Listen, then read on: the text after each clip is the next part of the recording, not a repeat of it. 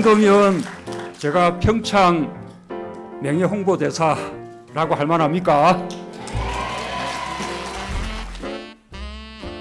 제 본업이 대통령입니다만 오늘은 평창 올림픽 홍보대사 명함이 더 잘 어울릴 것 같은 밤입니다.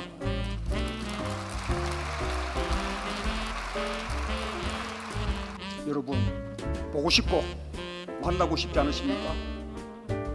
유러시아 대륙이 시작되는 눈 덮인 평창에서 여러분의 2018년을 시작해 보는 건 어떻겠습니까?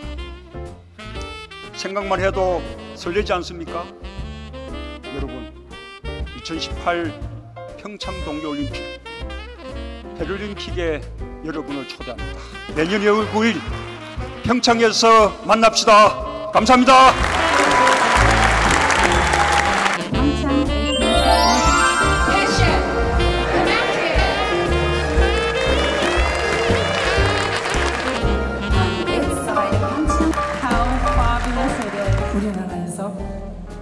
올림픽을 열린다는 게 얼마나 저한테는 영광인지 모르겠습니다.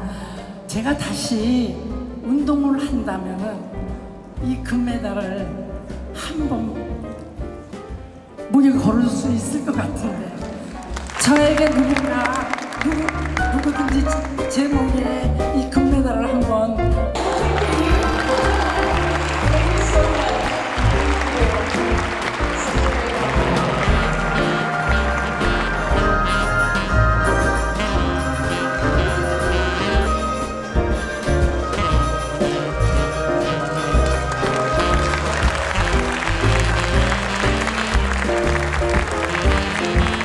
Bye.